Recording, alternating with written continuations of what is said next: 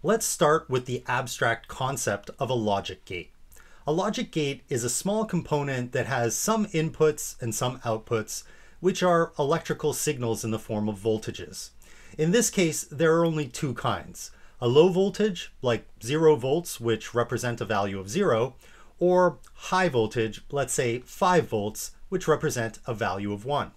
Since there are only two possible values, 0 or 1, we call this a binary representation. Each digit, which can take on a value of 0 or 1, is called a binary digit, or bit for short.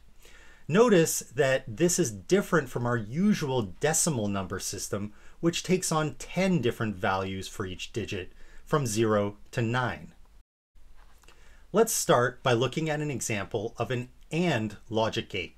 It has two inputs, one bit on each input, and it has one output, another bit. The behavior of the AND logic gate is fully described using a truth table. We can map every possible set of inputs to its corresponding output. Since there are only two inputs, and each input can take two different values, that means there is a grand total of four possible input combinations to the gate. Notice the AND gate mostly results in a zero bit output for any combination of inputs, except when both inputs are 1. In this case, the output becomes 1. There are other common logic gates, each defined with a unique truth table. The OR gate has an output of 0 only when both inputs are 0. If at least one input is 1, the output becomes 1. The NOT gate has only one input and one output.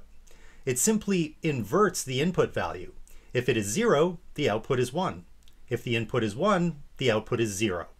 Another useful logic gate is the exclusive OR gate, or XOR.